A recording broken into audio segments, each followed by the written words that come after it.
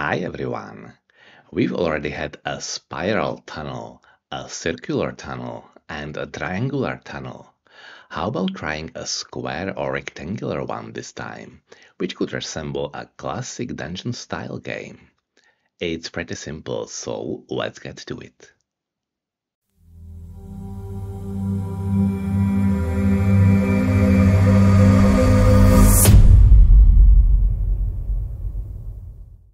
You might be wondering why I'm adding yet another tunnel to all the ones I've already published and what new things it will actually bring. It's true that the most basic principle probably hasn't changed much, but there will still be something original here. Besides the fact that the code is quite a bit shorter and simpler this time, we can easily modify it for shapes other than rectangles in the final effect. We'll see that for ourselves in a moment as we write the code. So let's start by creating a new scene into which we'll add the usual ColorRect and set its dimensions to Full HD. Right clicking on the scene, create new scene and let's call it a square tunnel. Okay, very well. And I think we can use it as a user interface and right clicking, adding the child node ColorRect. And as I said, we'll set uh, its dimensions to full HD, but first I'll change the color to black.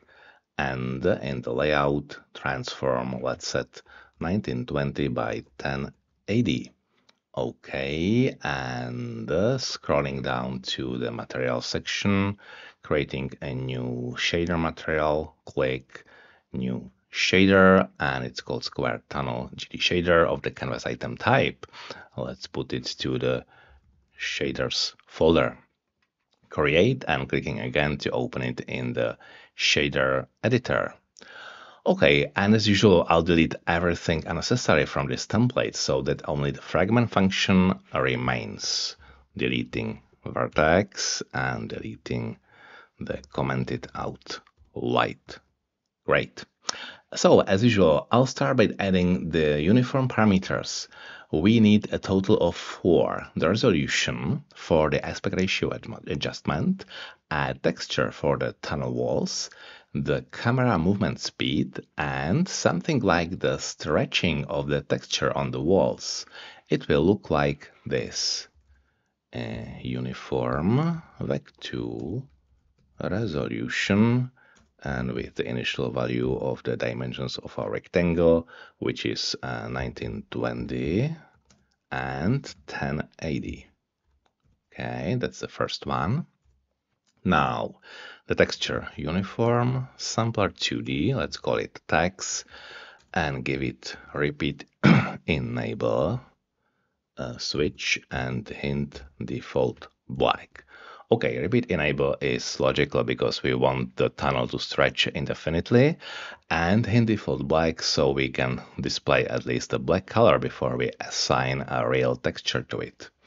Okay, the third one, as I said, would be the motion speed. So it is a uniform float speed with a hint range and the initial value, let's say 0.1 and put, let's put the range from 0 to 1 and the step point 0, 1.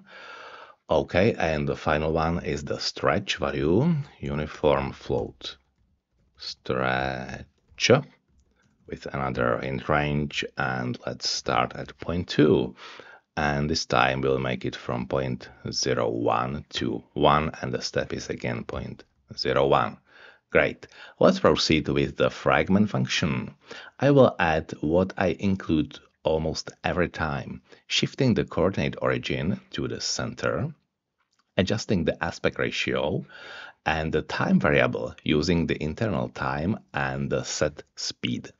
So let's do it right here in the fragment function, deleting the comment, and now vec2 uv is uv minus 0.5, so we are moving the uh, center of uh, coordinates to the center of the screen and aspect ratio uvx is multiplied by resolution x divided by resolution y, the usual formula, and finally the time variable.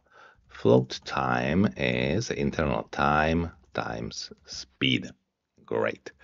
So far, we don't see anything special, so let's add the lines for reading from the texture and displaying the result. So I'll continue. Uh, Vec3 color is texture function applied on the text texture and UV coordinates. And we know that the texture function returns a vector 4, but we are working with vector 3 color, RGB. So let's use only the RGB components. And finally, uh, internal color, the output is vector 4 that is composed of our color vector 3 and 1 for the alpha value. Okay, we still don't see anything special because we haven't added a texture yet, so uh, the default black color is being displayed. The texture I use represents a brick wall and belongs to a free material I downloaded from somewhere. So now I'll drag it in the text parameter. Let's find it in the inspector, shader parameters, text, here it is and I think it's somewhere here in textures. Yeah, red brick albedo, that should be it. Okay, let's take a look. So finally, we can see something. I'll just add that I only use the albedo texture from the whole material, that is, the image without any enhancements like normal maps and such, so we won't be dealing with the things like the indentations between bricks and mortar or the bumps on the brick surfaces. In this tutorial, we'll simply be displaying the texture on the tunnel walls, and now we are finally getting to that. As we know, the tunnel will be rendered around the coordinates origin, which we've shifted to the center, so it'll be useful to convert to polar coordinates, like this. Okay, scrolling back to the um, fragment function, and I think we should do it here before we assign the final color. So let's do the polar coordinates. Float theta is, as we know, atan of uvx and uh, uvy. So this is the angle in the polar coordinates. And now we need to define the shape of our tunnel. Since we'll be experimenting with different shapes, it would be a good idea to isolate this code into a separate function. So I'll add a function called getShape and I'll implement it to return a rectangle, that is, the maximum value of the x and y coordinates of the absolute value of the UV vector. It's a formula we've already used in several previous shaders. So let's scroll up and put it, for example, here. I think I can expand this panel a little bit. And now uh, float, get shape, with the parameter vec2 UV coordinates of the current pixel. And as I said, it will return the maximum of the components of the absolute value. So UV, let's first make an absolute value out of that. And uh, return, yes, return max of UVX and UVY. Okay, this is the function. And of course, we have to use it in the fragment function. So let's add a call to this function for the current pixel. Right here, after the theta value, float shape is uh, get shape of the UV coordinates. So we have the shape and we have the angle in polar coordinates. What's left is to use both to find a new pixel on the brick texture, which will be transformed in a way that makes the result resemble texture mapping onto a tunnel. We achieve this with this following simple calculation. Uh, vec2, let's call it P as a point, is vec2 of stretch value divided by the shape value and theta. Okay, that's it. And now, when we uh, replace UV with P in the following line, we'll get the expected result. Let's try it out. Okay, and here we go. Let's just show all of that. This is quite a good foundation for the tunnel. However, we are definitely not done yet. For example, we would want the light to fade with the distance and for the end of the tunnel to disappear into the darkness. How can we achieve that? We know that the value of the getShape function, uh, this one, value of the getShape function is 0 at the center where we've shifted the coordinate origin and gradually increases towards the walls. So it will be enough to multiply the resulting color by this value, so the pixels near the center will be significantly darkened, like this. Let's back scroll down to the fragment function, and right after the color definition, let's do what I just said. Color is multiplied by the shape value. Wait for it. Great, it's starting to look more like a tunnel. However, there is a small issue with the texture, which probably isn't perfectly mapped, as we can notice, for example, here at the top right. If I just in uh, zoom in, we can see it here, for instance. The bricks look like uh, they are broken between the wall and the ceiling.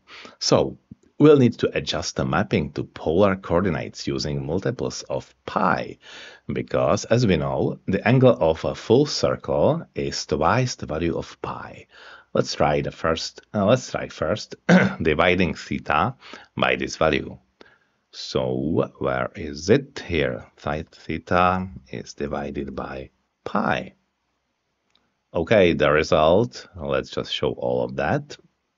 The result looks a bit better, but the broken bricks haven't disappeared. In fact, it seems they have appeared in more places like this everywhere.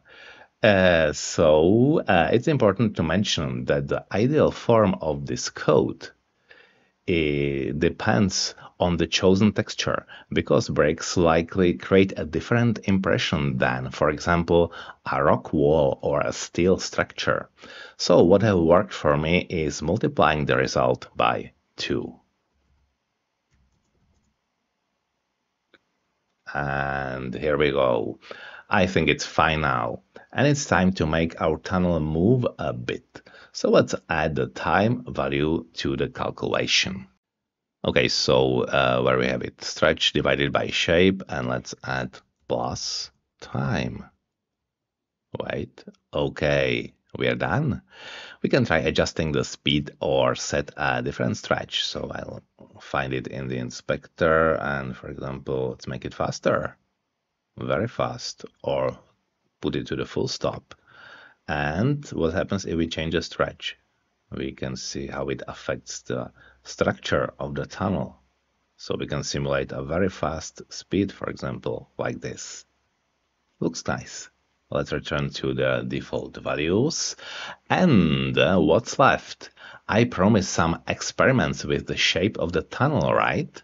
So let's see what happens if we replace, for example, in the getShape function, this one, if we replace the max function with the length function. Something tells me that the result will be more circular. Okay, and uh, unlike max, the length requires only one parameter, the UV vector. So let's change it to length and delete this, replace it by UV. Wait for it. That's indeed the case, it's circular, which isn't a big surprise because the length function is directly related to circles, something we've used many times, for example, when modeling analog clocks. And what if we wanted a tilted square as the shape of the tunnel? For that, we just need to return the sum of both components. Okay, so instead of length UV, I will use this UVX plus UVY. Wait, okay, that's nice, right? But it appears that the tunnel is somewhat overexposed, it's brighter, which is a common result of color addition. So it should be enough to normalize the result, that is, divided by the number of additions, in this case by 2. So let's put it to brackets and divide by 2. Looks okay. Okay, and to wrap things up, let's try to, uh, combining two shapes. For example, we'll create a square with rounded corners. It will be a mix between the max and length function, with the weighting factor set in favor of the square, like this. So I'll just delete that and use, as I said, the mix function, which is a mix between the max uvx and uvy, this is the square, and the second parameter would be the circle, so length of uv, and the weight factor, I said it would be put in favor of the square, so let's make it close, closer to 0 than 1, for example, 0.3. Wait, yeah, can you see it? It is a bent like circular, but it also resembles the square that should be probably enough. There is certain, uh, certainly plenty of room for experiment, experimentation here. Thank you very much for watching. Effects like this can uh, definitely find their use, even if it's just for stylish transitions between different levels of our game. What matters is that this is another example of applying simple principles and combining them, which is actually one of the main goals of these tutorials. In any case, uh, thanks again, take care, good luck with your projects, and I'll see you in the next video.